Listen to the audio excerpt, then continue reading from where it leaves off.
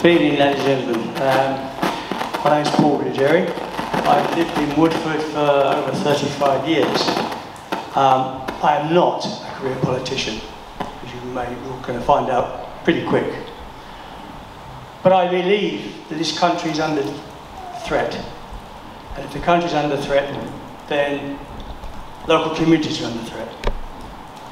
For the last 14 years, we've been promised certain things. Nothing has happened. With an 80 seat majority, no promises have been kept from the Tories. The alternative? Labour. Um, well, a man who can't decide what a woman is, how can he lead a country? Um, simple things like this.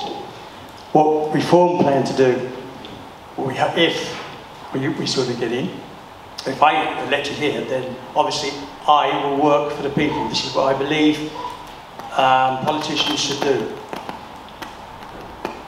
Work for their constituencies, not the other way around, is what most of them seem to think.